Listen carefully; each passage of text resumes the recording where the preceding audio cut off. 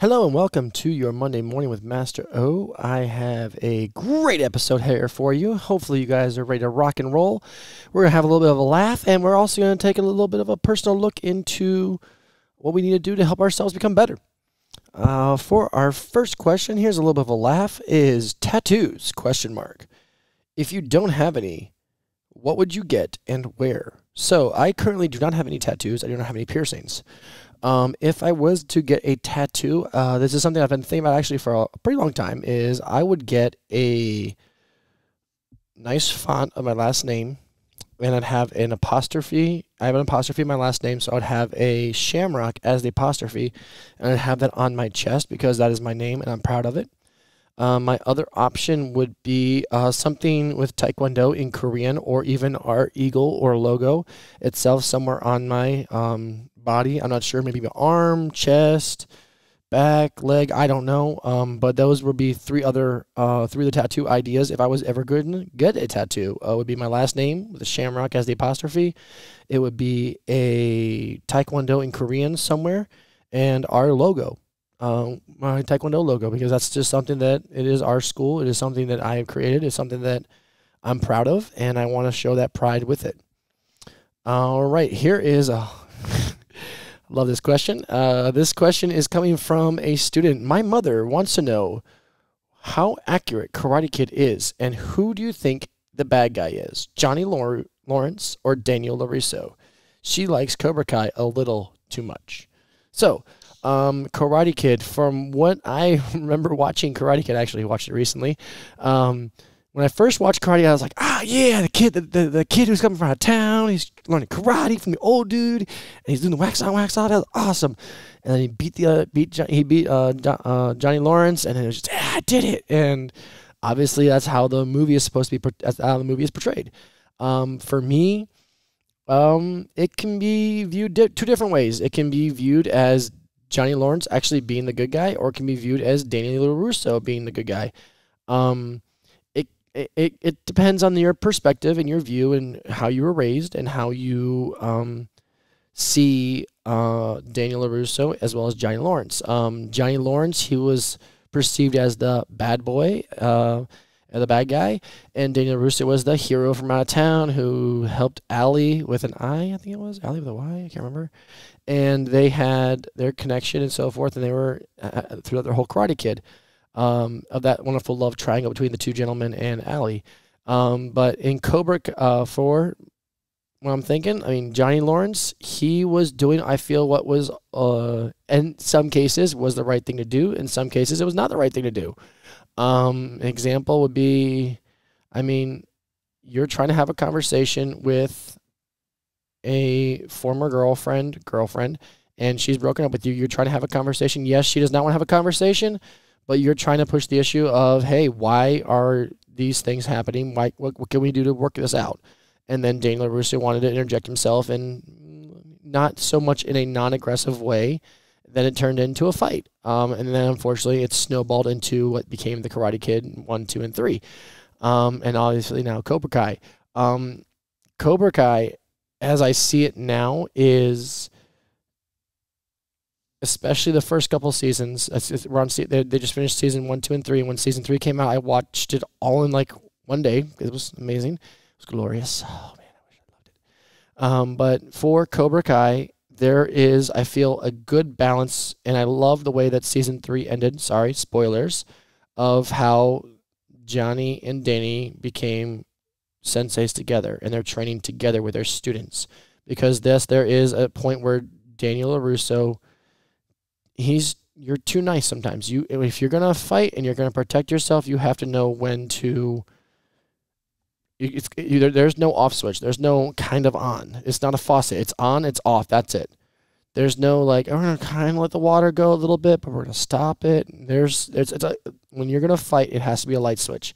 You have to make that decision, and you have to commit to it. You can't be doing it halfway, halfway, and that that is where I see where Daniel Larusso kind of fell short because of his upbringing and where he was in his uh, uh, socioeconomic class and then you have Johnny Lawrence, who is from the lower socioeconomic class, where he's has to fight to protect himself. He had to do this and that, And I, yes, there were things that were a little excessive, but they're also, he was not trying to sugarcoat it for his students. He, his students came there for a reason and they knew why they were coming and they knew why they were going to get better. And I feel like there were a lot of good life lessons taught by Johnny and Daniel LaRusso both. So again, spoilers. I'm very happy that in the end of season three that they were able to kind of hash things out and team up and become better. Hopefully, season four is going to be glorious. I hope so. so. But um, that is just my perception. Is they both were good guys. They both were bad guys. There was never a oh he's only the good guy. He's only the bad guy. It's not like Autobots, Decepticons. Sorry, I'm a massive nerd when it comes to Transformers. Um, but that is just my opinion about Cobra Kai as well as the Karate Kids uh, movies. Uh, personal. Here we go. How do you balance school slash work as well as extracurricular activities? It's like once you think you have it all, have it, something goes wrong. That is the truth, and I've seen it happen a lot. It's been happening. It happens to me. It happened to me. Um, for me, I was never the person who was doing a lot of extracurricular activities. I did do marching band my freshman and sophomore year in high school. I then since no longer did that, and I was doing just Taekwondo uh, after school as a after school job, helping out with the after school program at my school that I was learning from and, and helping teach the after school students. Um, but it's I didn't really have a balance. It was school and then it was work. That was it. Um, um, it's definitely a juggling act. It depends on how much you're willing to commit to certain things. Sometimes certain activities require more of a commitment if you're in high school and you are a starting athlete for that team, you might require more commitment to that team because that's what the coach needs and requires for you in order to help the team and help the team succeed, especially if it is a, a team sport, which most ones are. Uh, the very few individual ones would be like, say, wrestling or swimming. I mean, again, also some cases it is a team sport. Your scores are put together. You, as a team, you can do relays for swimming. So you need to have a good sense of team camaraderie. And if the team sees you not committing as much as they are, it can be very um, problematic for the team as well. They might see you as not as committed to it, so they not, may not be as friendly with you. And I can understand that. Um, for me, I was freshman, sophomore year marching band, like I said. Junior year, I didn't do anything. My senior year, I was put in a leadership position in my ROTC unit in which I had to try to find that balance between school activities with uh, extracurriculars as well as my uh, taekwondo. Um, I tried the best to balance it out. Um, sometimes there was conflicts, and my teacher was not very happy with what the schedule that I put out there because I would schedule things on a Friday afternoon after school was over, and he was not the happiest with that because he wanted to go home and see his family as all parents would want to do. They don't want to stay extra on certain days when they know when they already have plans to do so to leave. And unfortunately, those were the days that I was able to not have to be helping the after school because Fridays were a pretty easy, fun day. So they didn't uh, need me I help as much. So I was trying to balance my Taekwondo and work working as well as my leadership perspective of my RTC unit. Um, I was the highest ranking person in the situation for doing it's what's called a cadet of the month or cadet of the year board where all the younger uh, students, the freshmen and sophomores who are first year students, come in and they have different various questions they ask and so forth. But and they get an award for it just for being the best and everything, how their uniforms look, all that stuff. But that was all run by me because I was the senior most person. After the person who was bef- who was senior most had to step down because he was committed to swim team and other e- extracurricular activities, so I had to fill that slot. Um, but that is it. It can be definitely a, difficult thing, and obviously once you figure out something that is going really well for you, the, the wheels are all turning, the gears are all spinning, everything's perfect, and then you get a flat tire, you get something wrong with the car, you got a, got an issue, and that can be difficult. And I understand that, and it is tough. It is frustrating, and that's when you sometimes have to stop for a second, either take a knee or take a step back, take a few deep breaths, count to ten, and let's uh, you have to figure out the situation, how you can best figure it out. Yes, some some sporadic events pop up and you have to make a decision. Okay, am I going to do this or this? And that depends, of course, to your commitment to that. I have several students who are high schoolers and now college students, and they are doing a lot of extracurricular activities by their choice or by their parents' choice. And it can be difficult, and I understand that. And again, that also comes down to your commitment to what you're going to want to get out of it and what you're going to put into it. Um, but for that is definitely something that uh, you have to make the decision. What is more important? Is this more important or is that more important? Is this more important? Is that more important? That's something that you have to figure out. You have to look at yourself. And as a young adult, young teenager, older teenager, middle school, high school student, that's a difficult thing to do. That's really difficult to stop and like, what do I like more? What do I want to do more? And that's a tough choice. And that's something that you might have to you have to figure out because those are the decisions that you have to make for you. And that's part of being an adult sometimes for you teenagers. All right. Here we go. What would you recommend as an additional martial art besides jujitsu? So, um, some of you may know I, I trained in jujitsu. I did it two. I did it for two and a half years. Um, I trained with uh, Lucas Lepri, uh, Brazilian Jiu Jitsu. It was in Matthews, North Carolina. I trained there because of the number one, the convenience of it. I lived in Matthews. The school was in Matthews, and they had classes at 7 a.m. in the morning. So those are classes that I could go to. Otherwise, just like any other martial arts school, they train when we train. I can't make it because I'm teaching classes and running a taekwondo school, and that's why I would do it. Um, I train in Jiu Jitsu. I've constantly praised the positivity of training Jiu Jitsu for everybody. Um, I started training jiu-jitsu because I had a encounter with a student, or not a student, a another master, uh, Master Kane. He was he did wrestling for the wrestling team at Butler High School for a couple years, so he had a little bit of a ground game and understanding how to do how how to fight and how to tackle and take down and so forth. And we were messing around one day, and then he just shoots for my legs and grabs my legs, takes me down, and I'm floundering around like a fish. I'm like, this is not a fun feeling. I need to figure this out. So I a few weeks later, I signed up for jujitsu classes and I started training jujitsu so I could then be able to have that ground game. Um, other martial arts I would recommend is some form of grappling, whether it be jujitsu or wrestling, um, because of having that ground game. In my personal opinion, is very is very important. We have a standing game with taekwondo our striking, our kicking, our blocking, and so forth. You want to have something that's close knit, so something maybe that has wrist manipulations like Aikido or Hapkido, um, which we also do a little bit of training like that once you get to the black belt level. It's something for you to work towards. And then obviously, again, like I said, jujitsu and wrestling, you have a ground game. You want to have something you have standing up. You want something you can be close with someone, which also is jujitsu or judo. And then you have the ground game and the taking down, which is wrestling, jujitsu, and judo. Uh, those are my choices and my opinions of other martial arts that students should train other than just taekwondo once they get to a point in taekwondo where they feel like okay i'm good here i still want to train but i also want to do a little bit something else now understand though as students and something i had to learn the hard way too. I was a master. I was a fourth degree black belt in taekwondo and i went into a jiu-jitsu academy and i was a white belt. And i was getting crushed by students. Uh, there was a student who also did jiu-jitsu at the same school. He was a first degree or second degree at the time and i knew him and he was crushing me.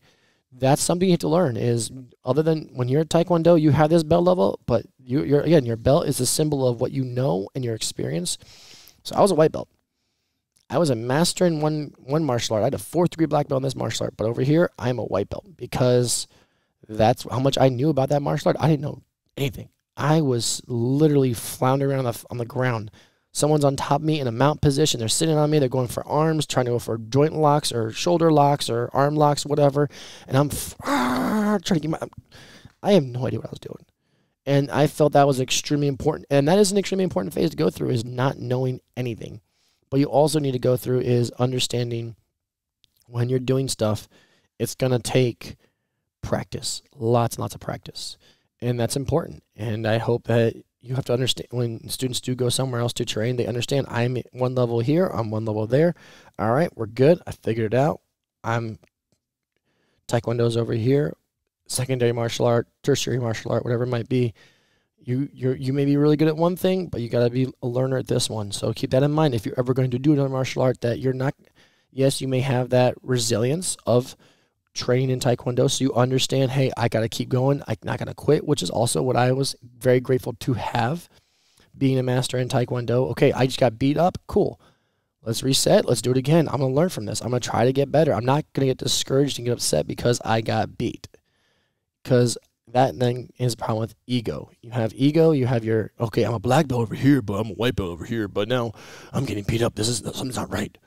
That's ego you need to have ego. You need to have humility. You need to figure it out. Okay, how can I make myself better? And that's the way you can do that. And right now, here we go. Got two more questions here. For this is a two question. Uh, uh, que- there's a two part question. So question one of one is I was wondering maybe if you could answer uh, this for your Q and A. When you said first sergeant and your father played a part in you opening your own dojang, is it possible if you for you to go into it that deeper? If it isn't too incredibly personal, of course. Um, no, it's not actually not personal at all. Um, I was at a Taekwondo school. I was a senior in high school. I was teaching there, and a part of my senior exit project uh, that we did our senior year, I shadowed my master. I actually entered this in one of our first videos. Um, I realized that I could totally make this a career. I can make this a. I I love Taekwondo. I love teaching. I love helping people, and I was super happy to do this. Um, so when I I mentioned to my dad, he's like, "Go for it. You don't have to go. You don't have to." He never discouraged me from going to college. He never dis- discouraged me from doing it because he also probably realized that I had he could see at that time I was an 18 year old I had some passion for something. It was not like I'm just gonna be like, oh well, I'm gonna work at McDonald's all day every day. Unless you plan on opening your own McDonald's, then I don't think that's a great idea personally for me, and that's probably my as well as my father's philosophy. Um, but once I realized that, my teacher, First Sergeant Barksdale, I was considering going to the Marine Corps. He was, he, I told him I was like, I think I want to do this thing. He's don't worry about the Marine Corps. The Marine Corps is not going anywhere, and it still has not gone anywhere.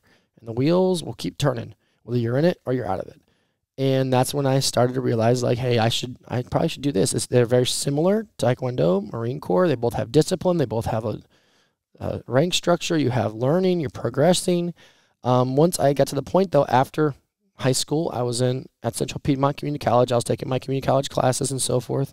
I was talking to my dad. He was not happy where he was with his job and we sat down and had a conversation about opening our own school at some point. Um, I was basically running a taekwondo school, but not having the title of it being mine. I was doing all the all the work for the owner. I was teaching classes. I was doing everything but running the books. I was doing everything but making decisions at the top level as the owner, which I shouldn't be doing because I am not the owner. It's not my business. It's not my company. I understand that. Um, and it was at that time I was a fourth dan. I was going for I was gonna be going for fifth dan soon. That's when my dad and I started realizing this is something we need to do. So we tried to go through a process of purchasing the school that I was teaching at, and then we would change the name, so forth, and everything else, and keep the students. That process did not uh, fulfill itself. So we then I shook hands. I said I put my two weeks notice in before December, and I left at the end of the year uh, in 2016, and then we started Master O's Taekwondo in 2017, uh, just outside of Indian Land in Ballantyne, the very literally the border for everyone who's been at the original Master O's school. That was literally at the border um, of our North Carolina South Carolina state lines. Um, but that is just the reason why I opened the school. I had a passion for teaching. I wanted to. I wanted to teach, and it was something that I really strive to do. Um, but yeah, that's that's why my dad and I got to visit together and we made it work. All right. So, question number two for this two part portion is I also have some side questions as well. When it comes to working out, what websites, podcasts, tips do you have slash use? I am looking into getting back into shape. I am barely I can barely do a push up now and I'm working out true uh, and, and working out truly benefits my hen- mental health a ton. I never realized how much I wanted to be until how how active I wanted to be until I came to your location. I truly did miss martial arts and even though I do even though I have been here for a few months, I do feel at home like I do at RTC. I never felt that at my old at my former school or anywhere else. When I'm at drill, I will randomly be practicing kicks or punches, not on people, of course, without realizing it. Martial arts is a very big uh, piece of the puzzle that makes me a teenage mess. This that is known. Uh, very true. So physical fitness, number one, physical fitness is an extremely important thing. Um, I feel like it's extremely important for me. I know for me mentally, if I don't exercise on a daily basis, if I don't sweat or work out whether it be going for a walk, going for a jog, lifting, doing some kicking, poomsaes, sparring drills, kicking drills, whatever it might be. I don't feel right. I don't feel one fulfilled, like I accomplished anything, and two, I don't feel like I um I, I feel like there's a burden on me. Like I gotta get this energy. I'm a very energetic person, as uh, as a lot of you know. Um, but for uh, Taekwondo, it's definitely it's a great thing. Exercising extremely important. Um, what podcast, websites, or tips do I have or use? So there is so much out there on the internet. It is the minefield of information. Some minds are good, some minds are bad. Um, same thing for websites, podcasts, and tips. I would say the number one reason is what what are you working out for? Are you working out for physical fitness? Are you working out for functionality? Are you working out for looking good? Because all those are different ways to work out and exercise and help yourself. Um, and that is on you. Um, but yeah, for for me, I listen to and follow a person by the name of Pat McNamara. He is a former uh, special forces in the military, in the army. He has a school actually in North Carolina somewhere. I believe that's out of Fayetteville.